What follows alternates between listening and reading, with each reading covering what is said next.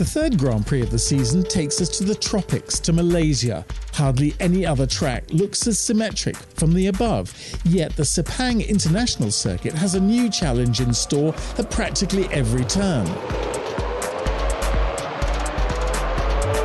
Right after the start, you enter a sweeping right-hander, the approach into the Pangkor Laut chicane. The exit is a downhill left turn section where the front wheel likes to lift off slightly. For the drivers, that means holding back.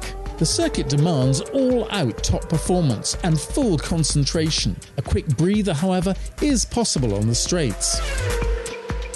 The setup, a tricky feat too much downforce costs speed, while too little costs grip. And yet, that's not all. If the grip's too strong, the tyres suffer in the corners and on braking. Yet for overtaking, harsh manoeuvres are essential. One further factor for the drivers the relentless heat. A loss of around 4 litres of fluid tells a very clear story. That's more than a driver can take on during the race, and his body has simply got to cope.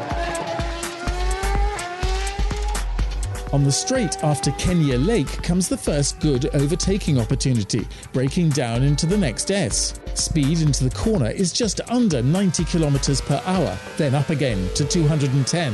Almost blind, the penultimate corner, Sunway Lagoon. The ideal line here is key, so that on the subsequent long back straight, you can get up to top speed. That's just over 300, as quickly as possible.